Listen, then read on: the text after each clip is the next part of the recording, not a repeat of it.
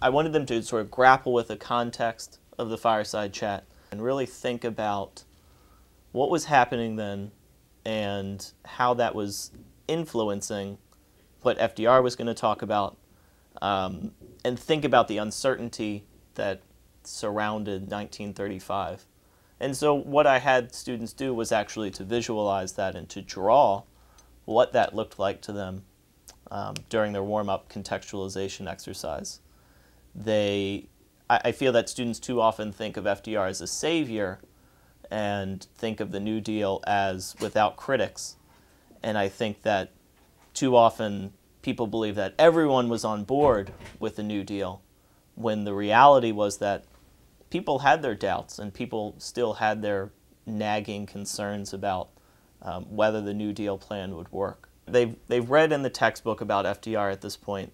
They know about the fireside chats. They know a lot about the Great Depression, and this is getting towards the end of the unit on FDR, looking at how FDR is trying to convince the people that his plan is going to um, change the course of the country and bring the country out of the deep, deep recession that it was in.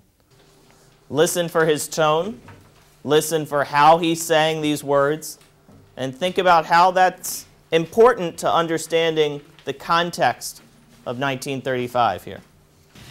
For the overwhelming majority of people in this country know how to sift the wheat from the chaff in what they hear and in what they read. They know that the process of the constructive rebuilding of America cannot be done in a day or a year.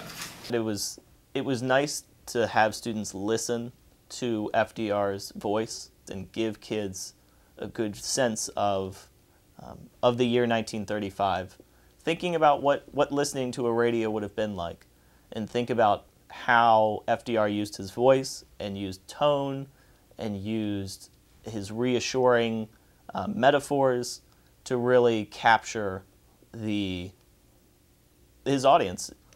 The next step was to have students then draw or label some of the uncertainties or what they were um, concerned about in the year of 1935. Imagine that you're listening to one of FDR's fireside chats for a moment and draw a picture of what that looks like. What does that look like to you? Stick figure's fine.